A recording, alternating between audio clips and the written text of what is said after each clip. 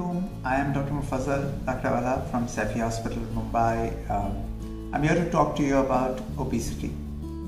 Obesity is one of those diseases which WHO has defined as something which affects uh, not only your health but also your mental well-being.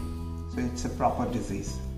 So far, it's never been recognized as a disease, but today the number of obese people in the world are far, far more than the number of non-obese people. So if you look at uh, worldwide, America comes number one in number of obese people. Then comes China, and then comes India. The problem with Asian obesity is that China and India have the largest number of type 2 diabetics. So if you look at diabetes and obesity, type 2 diabetes is directly linked to obesity. Then you have a huge proportion of people just from China and India who probably tackle from this problem. In Asia, we have something which is called as central obesity or obesity which is mainly on your tummy. It causes fatty liver disease or non-alcoholic steatohepatitis. And that is why there is a higher proportion of people who are diabetic, hypertensive, uh, and probably suffer from more virulent types of obesity rather than the truncal obesity which you find in the Americans. Now, obesity can be because of a host of reasons. So, when you're born, with obesity and in the first few years of your life you develop massive amounts of obesity which is far ahead of the rest of the kids your age. Then you have to look for uh, genetic causes of obesity. It is called monogenic cause of obesity. So right from your pituitary to your uh, MIC receptors and various other things there are so many hormonal syndromes which are associated genetic syndromes which are associated with monogenic obesity now, for monogenic obesity, the only option is certain trial drugs which are out there, but any other form of obesity does not help. So, you've got syndromes which you all might know of Prader-Willi, wherein a kid starts eating anything that comes in his hand and just cannot control his obesity. So, that is, that is one of the things. The next form of obesity is the polygenic obesity, which kind of happens as you grow older and because of a host of reasons. So, it's a lot of your environment and what you do. And some of your own body's propensity to uh, develop that obesity. Now, when the studies were done in children, there was a paper from Dr. Yajnik from Pune where they compared obesity, and he actually came out with a paper saying uh, thin fat baby syndrome. Now, what he meant by thin fat baby syndrome was that Indian babies are born uh, who are generally fat so that they have more fat mass but their muscle mass and bone mass is much less. And that has happened because of something called as the thrifty gene. Thrifty gene hypothesis is a gene which a lot of the Asians developed in times of famine when there was not enough food. So they modified themselves in such a way that now in times of surplus, when they get a little bit of food, they put on too much. Now in places like Yemen, which I think is very close to the Indian scenario, a developing country, and it also has a propensity for the Middle East. Middle East, the diabetes proportions are very, very high, and the food patterns all dictate the way you would probably go.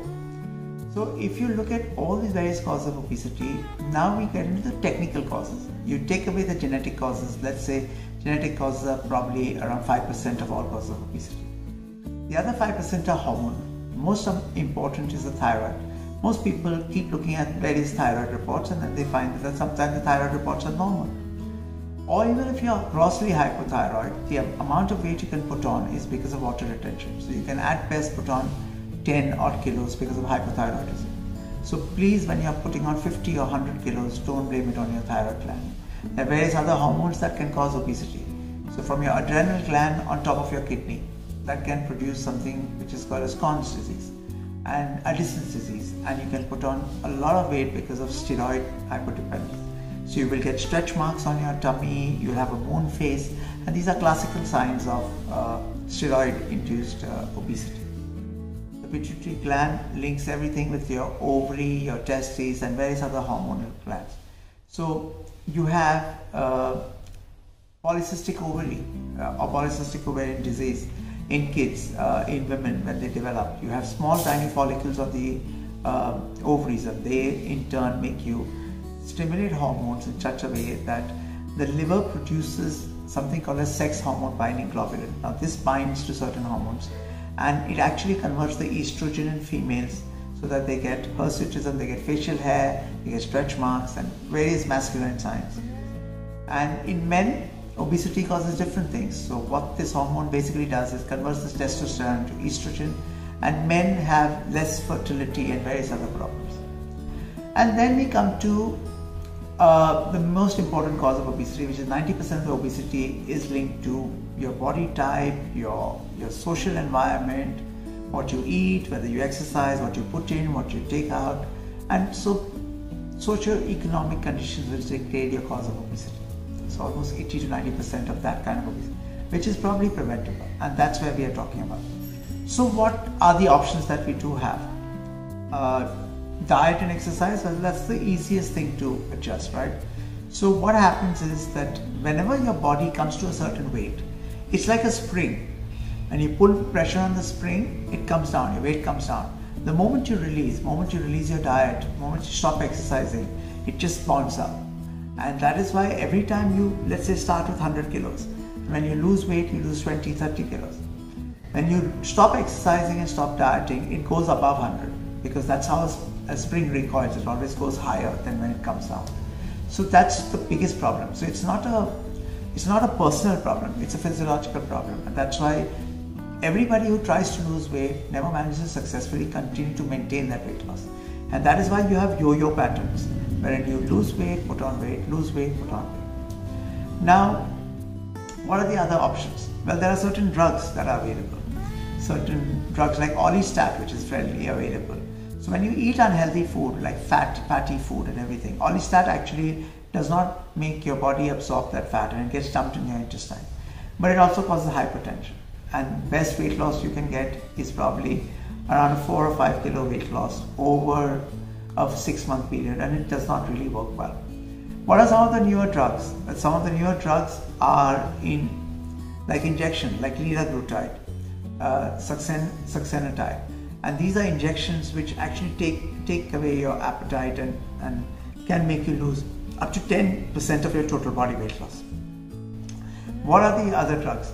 Well, there are certain drugs like uh, topiramate, and uh, these drugs were actually used for your for your brain for uh, convulsions and various other brain disorders. And what they found is the side effect of this drug was uh, uh, weight loss. And so now that topiramate combination is being used for weight loss. There are certain other drugs in trial phases also which are being used, but none have been very successful in making you lose more than 5 to 10% of your total body weight. So when you are uh, have put on a lot of weight, let's say you've got more than 20 kilos more than what normal has to be, or when you've put on your BMI is above 35 or your BMI is above 40, then you have to consider maybe bariatric surgery. A bariatric surgery is one surgery which can give you long-term sustained weight loss. So what are the pros and cons? Uh, what are the firstly, what are the side effects of obesity? So obesity is a disease, I call it a mother of all diseases because it brings, in a human body, it brings so many diseases. So right from your brain, it can cause intracranial cerebral hypertension. Okay. The next thing, you come down, lower down, and the thyroid hypothyroidism it can get worsened because of obesity. Then you come to migraines and headaches. And then you come to the lungs. That area causes uh, sleep apnea where you can keep snoring at night and your carbon dioxide levels can go up. It can cause respiratory illnesses. And because of respiratory illnesses it can cause right-sided heart failure. The next is obstructive lung disease. That is something that we call. Then when we come down to the abdomen you can get gastroesophageal reflux disease, GERD, hiatus hernia because of obesity. A lot of other hernias are linked to obesity. Gallstones, a lot of obese people develop gallstones, that is one thing. Pancreatitis, which is definitely known to be linked with obesity. Then the most important thing, the fatty liver or the non-alcoholic steatohepatitis. Today, the maximum number of people getting cirrhotic is because of fatty livers, not getting uh, treated properly. The other thing is uh, when you combine hypertension, type 2 diabetes, hypercholesterolemia, and join all this with everything, then it causes syndrome X or metabolic syndrome, and that is what obesity causes. When you come lower down, we do understand that infertility is directly linked to obesity. In males, the sperm count goes down, and females, it causes infertility. The other thing is uh, stress urinary incontinence in females, where they even laugh or they uh, they cough, they pass little amounts of urine. Then we come to the joints. So you will get osteoarthritis. So your back, your knees will start hurting more because of this, the weight dependent osteoarthritis. Then the joints can also get affected by high uric acid level, which causes uh, gouty arthritis. It can also cause uh, swelling on the legs, which is called lymphedema of obesity. The other thing is varicose veins that you can get all because of obesity. The most important thing also is the number of cancers that are linked to obesity. In women, 9% higher chance of developing breast cancer, uterine cancer, and colon cancer. In males, prostate cancer, lung cancer, and colon cancer is again very, very high. So, everything from a headache to cancer, everything is linked to obesity, including infertility. So, what do we do? Uh, BMI is your uh, body mass index. Now, how do we calculate that? Okay. So, it is your weight in kgs divided by your height in meters square. So, let's say if you were 100 kilos and your height was 1.72 meters. So, it is 100 divided by 1.72 into 1.72, and that's what your BMI is. And your BMI is be- between 18 to 24.5, that means you're normal. 24.5 to let's say 30 is grade 1 obesity. Uh, it's overweight. When you're above 30, it is grade 1 obesity. 30 to 35 is grade 1 obesity. 35 to 40 is grade 2 obesity. And above 40 is grade 3 obesity or morbid obesity. When you go above 50, they call it super obese. When you go above 60, it's super, super obese, and then they stopped adding super to. So when your BMI is above 35, and you have diabetes, blood pressure, cholesterol, or various other things, then you become a candidate for surgery. Or if your BMI is above 40 and you have failed all other conventional methods of diet, exercise to knock off your weight and maintain weight loss, then you should consider bariatric surgery. Now, what is bariatric surgery? Bariatric surgery basically has different forms. So, something as non invasive as just putting a balloon, a gastric balloon, which you can swallow, or you can put endoscopically. It remains in your tummy for anywhere between three months to six months to one year.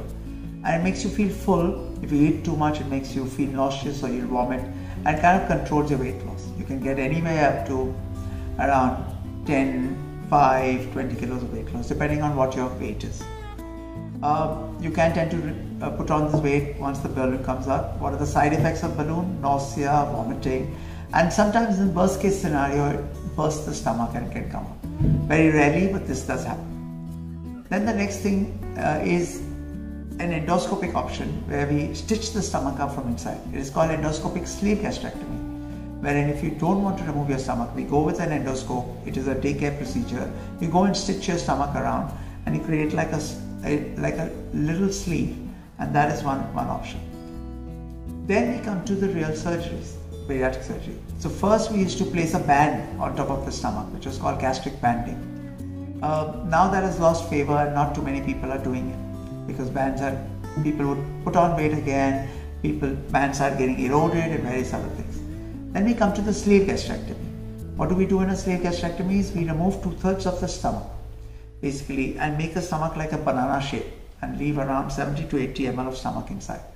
This is called sleeve gastrectomy. This is irreversible surgery. You remove two-thirds of the stomach and you throw it so you can never replace it uh, what, what, are the, it gives very good weight loss results in most patients. It is used in younger people, uh, people who can exercise and diet and various other things. What are the side effects? It can cause more of gastroesophageal reflux disease, uh, burning, and sometimes you can tend to regain some of the weight back. It can also cause iron deficiency anemia. Then we come to the gastric bypass. Gastric bypass ideally is supposed to be a gold standard.